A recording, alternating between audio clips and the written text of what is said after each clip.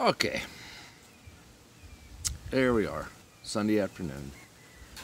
Working a little on the wizard. And uh, working a little on the problem child's little sister.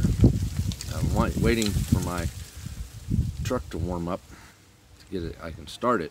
Seems to be a little cold. I have to replace the fuel heater element in there. But anyways, that's a whole different story. I uh, was wondering why the little sister was loud. So I tore the valve cover off and uh, it, uh, it was pretty cool. So hold on.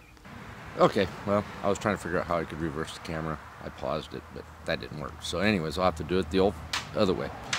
So, if we can get it just right here. If you can see, I don't know if the sun's going to allow it or not.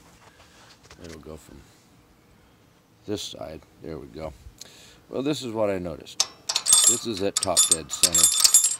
Uh, and uh, I think they're a little bit loose. And I don't think that's correct. So, yeah, that that's going to be a project. So I guess I got to get some new push rods.